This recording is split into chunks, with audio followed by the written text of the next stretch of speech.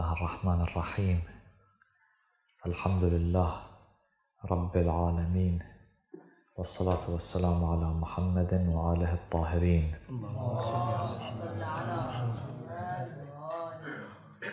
واللعنة على أعدائهم أجمعين إلى قيام يوم الدين. ولا حول ولا قوة إلا بالله العلي العظيم. محاور من البحث في هذه الرواية الجديدة لاحتجاج رسول الله صلى الله عليه وآله مع بعض المخالفين من مشركي قريش. المحور الأول هو أن نسبة الرسول أو الرسالة مع النبي صلى الله عليه وآله. هل هي نسبة حلولية أم إيجادية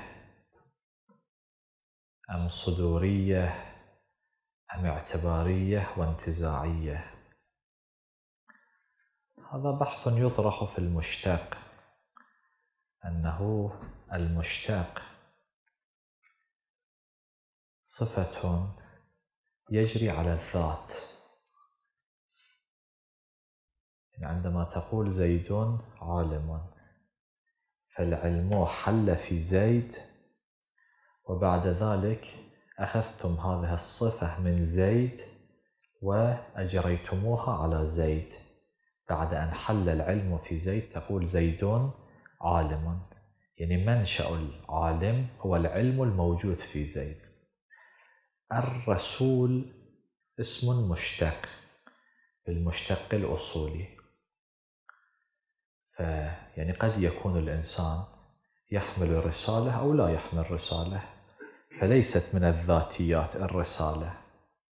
قد يكون الإنسان عالما وقد يكون جاهلا. قد يكون الإنسان عادلا أو لا يكون عادلا. قد يكون حرا أو يكون عبدا رقا. فما هي النسبة بين شخص الرسول صلى الله عليه وآله وصفة الرسالة؟ لأن هذه النسبة تجعل ارتباط الرسول بالرسالة ارتباط يدل على أمور أخرى. لاحظوا نقول الإنسان متكلم. الإنسان متكلم. حملنا صفة التكلم على الإنسان. الإنسان موجد للكلام. فالمشتق هنا مشتق إيجادي. الإنسان آكل. هو الذي يوجد الأكل. فيقال له آكل. هل الرسالة كصفة في رسول الله من هذا القبيل؟ يعني الرسول صلى الله عليه وآله هو الذي أوجد في نفسه الرسالة لأن المتكلم هو المسيطر على الكلام. أراد أن يتكلم أراد أن يمسك. هو الذي يوجد الكلام. الآكل كذلك. أما رسول الله صلى الله عليه وآله فهو الذي أوجد الرسالة كلا ليش؟ لأن الأثر يختلف. إذا هو الذي أوجد الرسالة فهو بيده الحجة والبينة والعلامة. فيمكن أن يستمع إلى اقتراحات الآخرين يقترحون عليه أمرا ما فيستمع إلى اقتراحاتهم لأن الأمر بيده مثل الآكل الأمر بيده. هل صفة الرسالة في رسول الله صادرة عن رسول الله؟ هذا غير الإيجاد مثل الضرب عندما نقول زيد ضارب صدر الضرب عن زيد ووقع على على عمر مثلا. فهل الرسالة صفة صدور من قبل رسول الله؟ كلا. مو رسول الله صلى الله عليه وآله الرسالة تكون كالضرب تصدر عن الرسول. هل صفة حلول عندما نقول الماء حار الحرارة تحل بالماء؟ عندما نقول الجسم أبيض البياض يحل في الجسم هذا حلول. إن هذا المبدأ حل في هذا الذات أخذنا منه المشتق الصفة الأبيضية الحرارة أنه ماء حار ونسبنا إليه هذه الصفة. الرسالة أيضا مو حلولية وإنما الرسالة منشأ اعتباري انتزاعي. يعني الله عز وجل اعتبر الرسالة لرسول الله صلى الله عليه وآله. فالأمر مثل مثلا الملكية عندما يشتري الإنسان شيء فيقال له مالك هذا مالك صفة اعتبارية. مو فد شيء حقيقي خارجي مو أنه أوجد الملك مو أنه صدر عنه الملك أو حل الملك فيه مثل حلول العلم في الإنسان أو حلول البياض في الجسم أو الحرارة في الماء. وإنما صفة اعتبارية وقد يطلق عليها أنها انتزاعية. بس خلاف في محله. فالرسالة صفة اعتبرها الله عز وجل في رسوله صلى الله عليه وآله. أعطاها لرسوله هكذا. فنقول أن النبي صلى الله عليه وآله رسول ونحمل عليه هذه الصفة.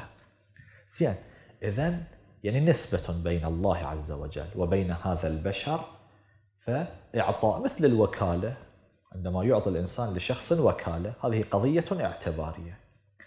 فما دام كانت القضية قضية اعتبارية ومن منشأ اعتبار ومن معتبر فإذا ملازمات الرسالة ومثبتات الرسالة أيضا ينبغي ويلزم أن ترجع إلى المعتبر. لذلك رسول الله صلى الله عليه وآله يقول أنا ما أقترح على ربي شيئا. بعثني رسول وجعل لي هذا البرهان مثلا القرآن. فأنتم تقترحون اقتراحات أخرى؟ هذه غير أنها اقتراحات مو معقولة أو باطلة أو ما سبق من الإشكالات على اقتراحاتهم. هذه اقتراحات أنا ما أقدر أذكرها لله عز وجل. وإنما أنا عبد أنا قن أنا خاضع لله عز وجل. لأن الأمر بيده هو الذي يعطي وهو الذي يمنع. هذه كنقطة مبدئية بالنسبة إلى المسألة. المحور الثاني أن الأئمة عليهم أفضل الصلاة والسلام تبعا لرسول الله تبعا للمعصومين لم يكن يرون لأنفسهم وجودا أمام الله عز وجل. يعني حقيقة يرى نفسه قن محض العبد المحض. وفي تفسير القن في اللغة يقولون ومن أبواه أيضا عبيد عبدان مثلا عبد وأمة أبوها يعني هذا متمحض في العبودية متمحض في المملوكية. عابد مملوك لا يقدر على شيء. هؤلاء هكذا كانوا يرون أنفسهم مقابل عظمة الله عز وجل. لا شيء. لأن وجودهم كل ما لهم من الله عز وجل وكله تفضل من الله عز وجل. لذلك عندما كانوا يقفون بين يدي الله للعبادة ترتعد فرائصهم ويقعون كالمغشية عليهم من الخوف من خوف الله عز وجل ومن عظمة الله. ورو ويعني ما يشوف بعد ما يقدر أكثر يعني هذا البدن الإنساني هذا المخلوق ما يقدر أكثر من هذا أن يقدم لله عز وجل. ولو تمكنوا لقدموا ضحوا بكل شيء لله وفي سبيل رضا الله عز وجل. لذلك كانوا حساسين جدا الأئمة من الغلو. بس هذا في وقت آخر بمناسبة أخرى نتكلم في الغلو بتفصيل. ولكن جدا ليش؟ لأن الغلو يعني جعل منزلتهم مساوية لمنزلة الله عز وجل. لذلك تأكيدات عجيبة. والله عز وجل يحاسب. عندما غلا البعض بالنسبة لعيسى طبعا هذا مو آه، الآية المباركة حول عيسى أنت قلت للناس اتخذوني وأمي إلهين من دون الله. فهذه قضية ما كانت في زمن عيسى بعد عيسى وإنما هذه القضية كأنما الله عز وجل يحاسب عيسى في يوم القيامة. أنه بعديا أله عيسى بعنوان أنه الإله أو أحد الآلهة.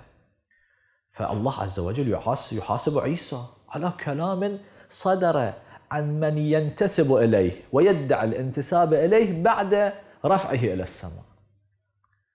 بس شنو تقصير عيسى؟ ولكن بما أن القضية حساسة فعيسى مسؤول. ويجب أن يجيب. وهو يجيب. يقول أنا ما أمرتهم إلا بما قلته وأنا ما قلت لهم يعبدوني. وأنت أعرف فالله عز وجل يقول حجتك مقبولة. واليوم ينفع الصادقين صدقهم. الكلام كلام تام. شخص يأتي إلى الإمام الصادق عليه أفضل الصلاة والسلام ويقول في الكوفة جماعة يألهوك الإمام الصادق الإمام ينثار يبكي تنهمر دموعه يخر ساجدا لله عز وجل لماذا؟ لأن القضية أننا عباد صحيح مكرمون الله أعطانا مكانة عالية ولكن أوجو مقام الأئمة أن أو أوجو مقام الرسول أن يكون عبدا قبل أن يكون رسولا. لاحظوا هذه الرواية؟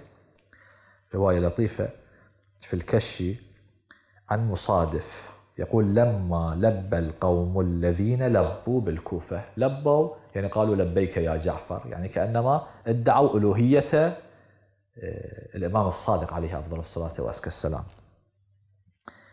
دخلت على أبي عبد الله. أنا إجيت ودخلت على الإمام. فأخبرته بذلك فخر ساجدا وألزغ جؤجؤته بالأرض وبكى.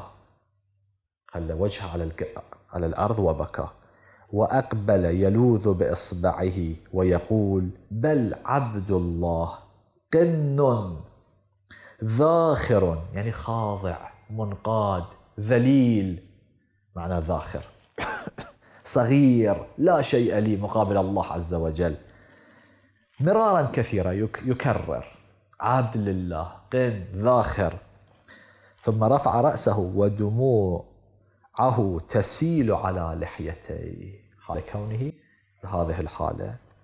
فندمت على أخباري إياه. يعني شوف وضع الإمام تغير.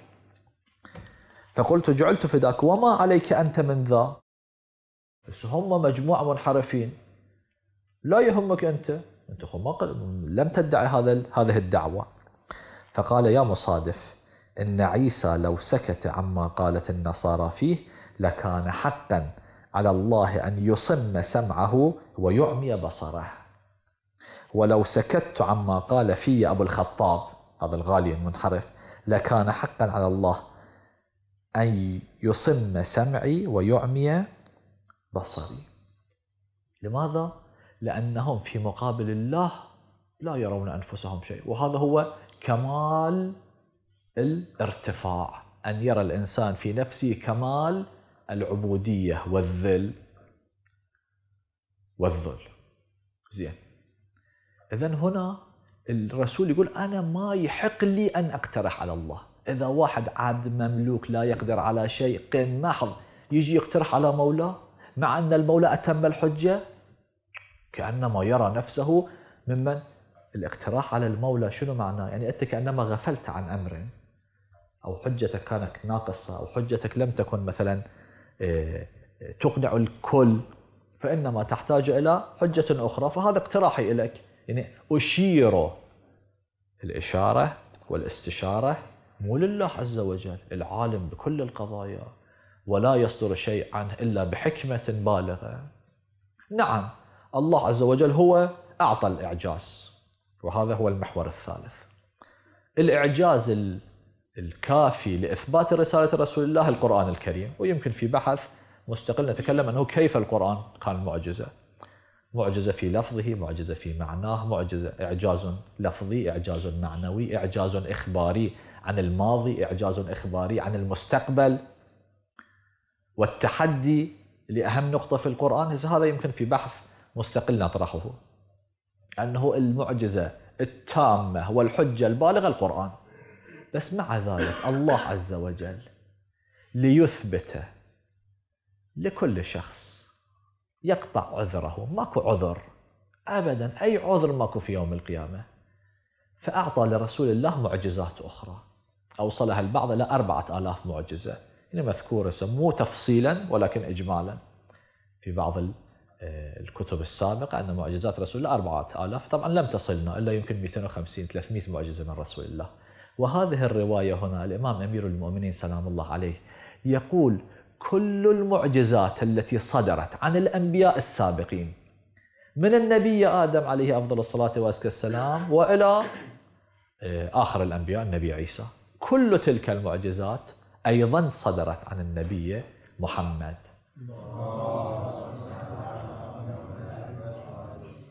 كلها أو أحسن منها. في مواقف مختلفة. كانوا يجون يطلبون من الرسول بعض أنواع الإعجاز. الرسول يقول أنا ما أقترح جبرائيل ينزل يقول الله لإتمام الحجة يقول سأريهم تلك المعجزة. الرسول ما يقترح ولكن الله ينزل. وهذا قد يكون شيء طبيعي بما أن الرسول صلى الله عليه وآله خاتم الأنبياء وهو العقل الكل. وهذه المعجزات تدل على علم وافر تدل على حالة من السيطرة التكوينية. فهذه السيطرة التكوينية تكون عند رسول الله أيضا. النبي عيسى إذا كان يحيي الموتى ويشفي الأبرص والأكمه هذا كان في قضية تكوينية اختيار بيده. بالنسبة هؤلاء الأنبياء كانت لهم بعض أسماء الله تعالى. وهذا التأثير الهائل في الكون الله عز وجل جعله هذا التأثير بيدهم. الرسول صلى الله عليه وآله وكان عنده 72 اسم من 73 اسم من أسماء الله. روايات مختلفة. أنا ذكرت إحدى الروايات في تفسير العياشي عن الإمام الصادق سلام الله عليه. يقول كان مع عيسى حرفان يعمل بهما. كل هذا الإعجاز عن النبي عيسى اللي يمكن في مئة ألف في صحراء واقفين بأمراض مختلفة بإشارة من النبي عيسى على نبينا وآله وعليه السلام يشفون بإذن الله عز وجل. كان معه حرفان وكان مع موسى أربعة وكان مع إبراهيم ستة وكان مع نوح ثمانية وكان مع آدم خمسة وعشرين وجمع ذلك كله لرسول الله صلى الله عليه وآله.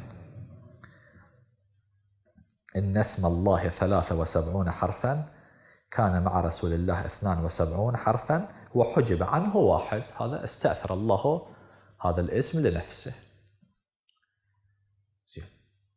فإذا رسول الله هو العقل الكامل وله علم الأولين والآخرين وهو معلم الأنبياء والمرسلين. فزين إذا هذه الإعجازات كانت لهم فتكون لرسول الله مثلها أو أحسن منها.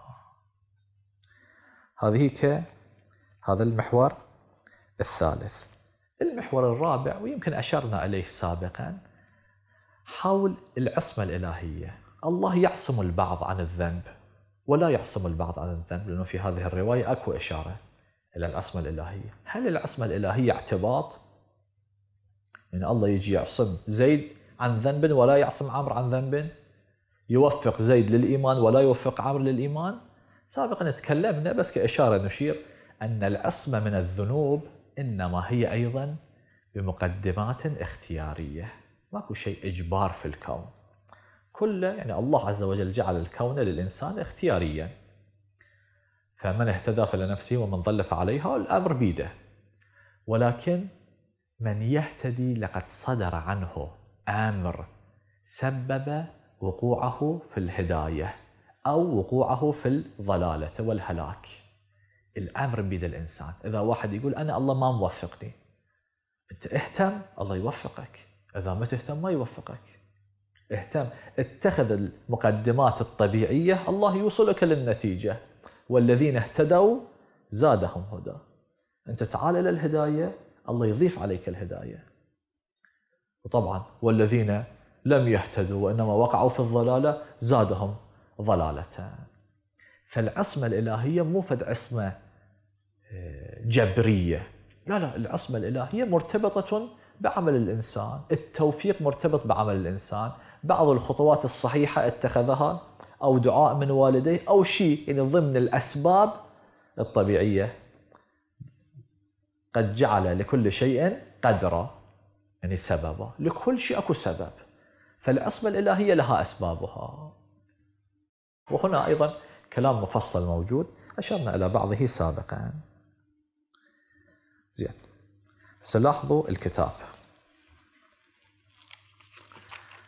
وعن أبي محمد الحسن العسكري عليه السلام أنه قال قيل لأمير المؤمنين. يا أمير المؤمنين هل كان لمحمد صلى الله عليه وآله؟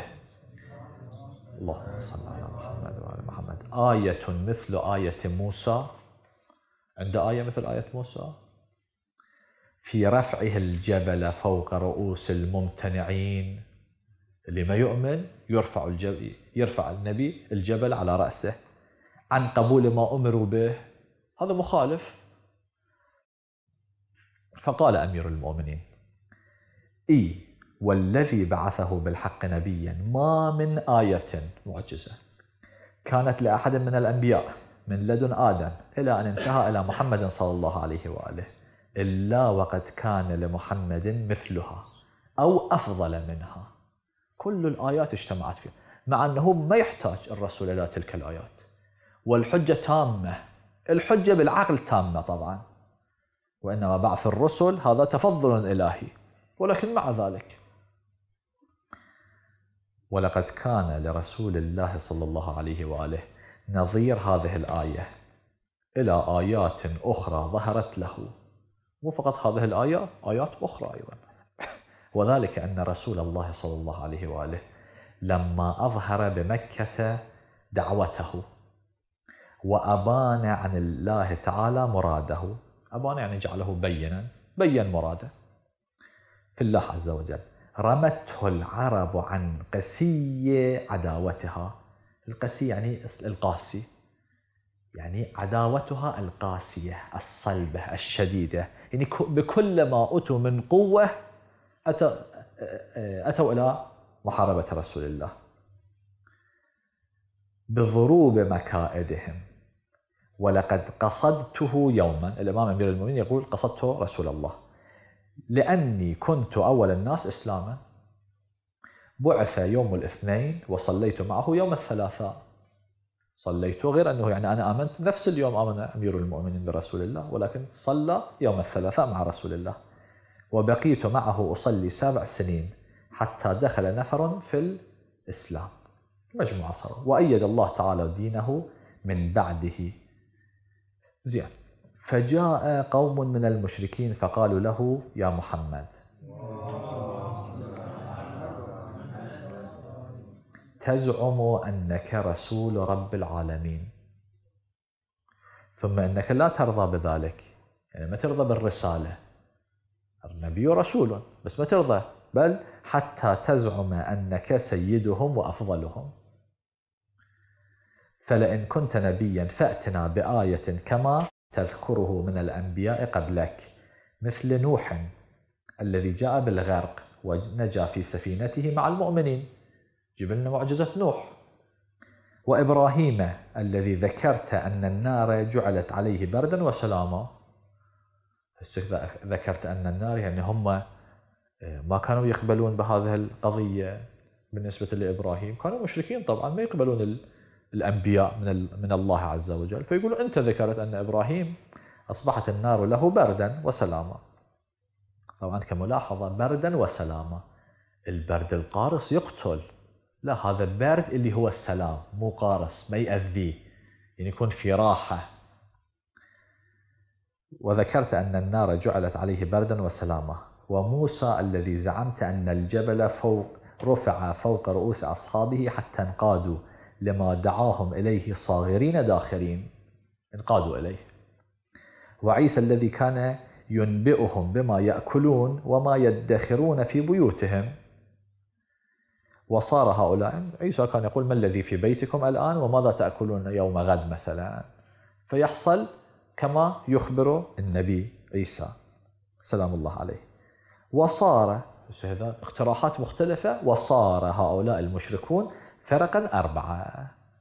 هذه تقول أظهر لنا آية نوح وهذه تقول أظهر لنا آية موسى وهذه تقول أظهر لنا آية إبراهيم والرابعة تقول أظهر لنا آية عيسى. فقال رسول الله صلى الله عليه وسلم أنا أجي أقترح على الله؟ كفاكم القرآن. هذا أكبر تحدي لكم وأكبر إعجاز لكم. القرآن كان مؤثر جدا. لما كانوا يجون المشركين يسمعون إلى كلام رسول الله القرآن. يعني حقيقة ذكرنا الرواية وقفت كل شعرة في بدنه. هكذا قال أو في بدني عندما أبو جهل أجا كان يعاتب الوليد. قالوا هذا مو شعر هذا مو نثر هذا مو كلام هذا شيء خارج عن العقل. يعني هم كانوا يستوعبون بلاغة القرآن. كانوا هذا اللي يفهموه أنه هذه البلاغة فوق كل درجات البلاغة اللي هم معتادين عليها. فإذن القرآن كان أكبر تحدي لهم. ولكن مع ذلك فقال رسول الله إنما أنا نذير مبين. أتيتكم بآية مبينة. هذا القرآن الذي تعجزون أنتم والأمم وسائر العرب عن معارضته وهو بلغتكم. هذا مو لغة أجنبية ما تعرفون هذا القرآن عربي مبين. فإذا شنو الإشكال؟ ما الذي تودون فعله؟ ما الذي تريدونه مني؟ هذا القرآن كافي بعد إذا للإثبات.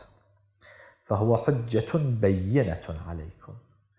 وما بعد ذلك يعني ورا القرآن اللي أتممت الحجة عليكم فليس لي الاقتراح على ربي. أنا ما أقترح على الله شيء وما على الرسول إلا البلاغ المبين. أنا رسول. رسول من قبل الغير. أعطى لي الرسالة وأسند الرسالة بالمعجزة والبينة والحجة وانتهى القضية. وما على الرسول إلا البلاغ المبين إلى المقرين بحجة صدقه وآية حقه. اللي يقر يقول حجته صادقة وآيته حقة. وليس على الرسول أن يقترح بعد قيام الحجة على ربه ما يقترحه عليه المقترحون الذين لا يعلمون هل الصلاح أو الفساد فيما يقترحون. بعض اقتراحاتهم فاسدة.